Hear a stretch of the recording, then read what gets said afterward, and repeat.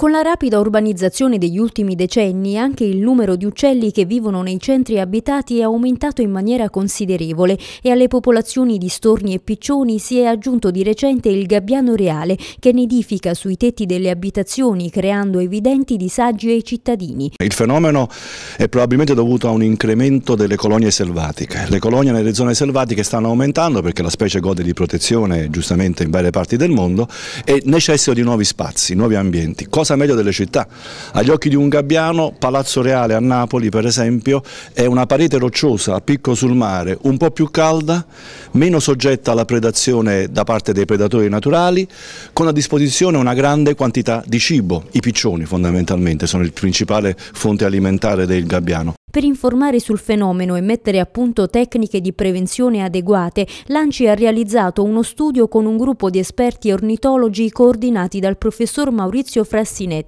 e oggetto di un opuscolo presentato nel corso di un seminario in sala giunta. Un'attenzione anche delle città per un fenomeno che,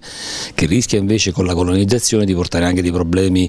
eh, ai cittadini. Insomma ci sono molte segnalazioni anche nella nostra città, ma in tutta la fascia costiera tirrenica e in alcune città del nostro nostro paese in cui eh, il gabbiano reale con, soprattutto al momento della nidificazione può creare seri problemi anche ai cittadini. Il tema è la colonizzazione dei centri urbani italiani da parte del gabbiano reale e vuole essere uno strumento a disposizione di amministratori comunali e cittadini per conoscere la specie gli aspetti normativi che la tutelano e su come prevenire la nidificazione nei pressi della propria abitazione. È possibile prevenirlo con dei sistemi molto semplici, assolutamente incruenti perché il gabbiano è specie protetta nel nostro paese, che così tengono lontano l'animale, va in zone magari meno abitate, Faccio un esempio, poi nell'opuscolo che sarà messo sul sito web dell'Anci, quindi tutti lo potranno consultare per trovare le istruzioni, già frequentare nei mesi di febbraio e marzo il proprio terrazzo, tenendolo pulito, uscendo spesso, già fa capire al gabbiano che quel terrazzo è un luogo non sicuro